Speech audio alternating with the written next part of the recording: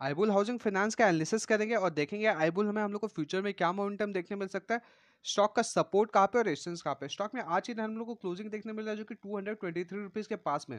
और लगभग देखेंगे तो ये वीक स्टॉक के लिए बहुत अच्छा रहा है क्योंकि ऊपर के लेवल में हम लोग को एक ब्रेकआउट भी मिला है जो कि लगभग दो सौ बारह रुपये के पास स्टॉक का एक रेजिस्टेंस है और स्टॉक ने फाइनली लगभग दो सौ तेईस रुपये के पास में हम लोग को एक क्लोजिंग दिखाया है। तो क्या स्टॉक में यहाँ से एक अच्छा खासा ऊपर की तरफ़ हम लोग टारगेट एक्सपेक्ट कर सकते हैं आईबुल से या फिर एक नीचे की तरफ़ स्टॉक में फॉल देखने मिल सकता है?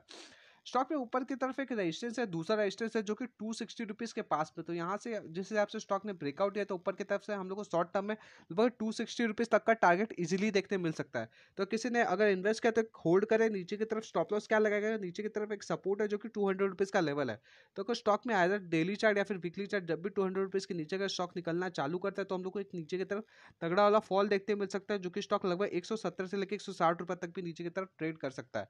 तो किसी ने इन्वेस्ट किया तो प्रॉपर स्टॉप लॉस के साथ काम करें। ऊपर की तरफ़ हम लोग और शॉर्ट टर्म के हिसाब से आईबुल में टारगेट होने वाला है, जो कि टू सिक्सटी तक का होने वाला, और लॉन्ग टर्म के हिसाब से स्टॉक में टारगेट होगा लगभग थ्री हंड्रेड से लेकर थ्री फिफ्टी रुपीज़ तक का आईबुल में हम लोग को इजिली टारगेट देखते मिल सकता है। क्योंकि स्टॉक देखिए तो एक हायर हाई पैटर्न बना रहा है, क्योंकि प्रीवियसली एक अच्छा खासा ऊपर की तरफ़ ट्रेंड हुआ, लगभग दो सौ दस रुपये तक, फिर नीचे की तरफ़ एक रिजेक्शन है फिर ऊपर की तरफ़ ये फाइनली ब्रेकआउट देकर ऊपर की तरफ़ स्टॉक कंटिन्यू कर रहा है।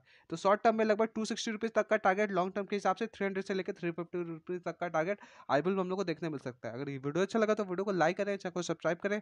आपको कोई दूसरा स्टॉक का एनालिसिस करवा तो नीचे स्टॉक का नाम कमेंट करें।